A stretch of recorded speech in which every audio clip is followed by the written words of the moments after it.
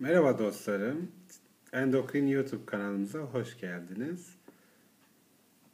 Tiroid nodülleri ilaçtan tedavi olur mu? Bununla ilgili konuşmak istiyorum.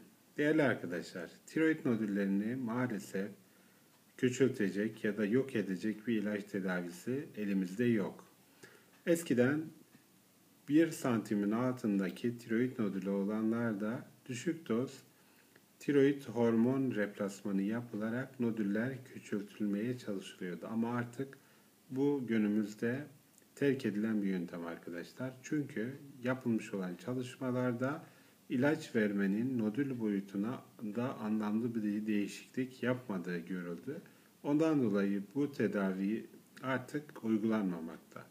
Niye uygulanmamakta? Çünkü dışarıda hormon vermenin maalesef hormonları fazla çalıştırmaya başladığı görüldü. Dolayısıyla hipertiroidi vakaları arttı ve e, nodüllerde de belirgin küçülme olmayınca bu tedavi yöntemi terk edildi. Artık tiroid nodülleri için ilaç tedavisi uygulanmamakta arkadaşlar.